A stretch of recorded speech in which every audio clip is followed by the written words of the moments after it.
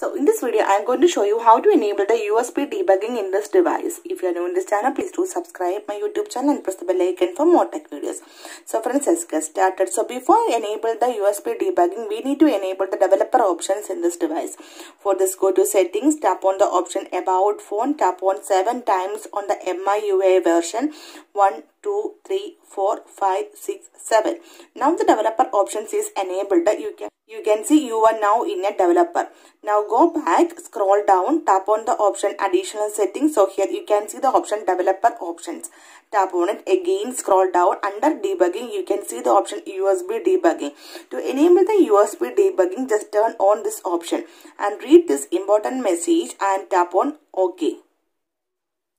So simply in this way you can enable the USB debugging in this device. So hope you guys enjoy this video. If you like this one please like and share and don't forget to subscribe this channel for more updates. Thank you for watching. Thank you. Bye bye.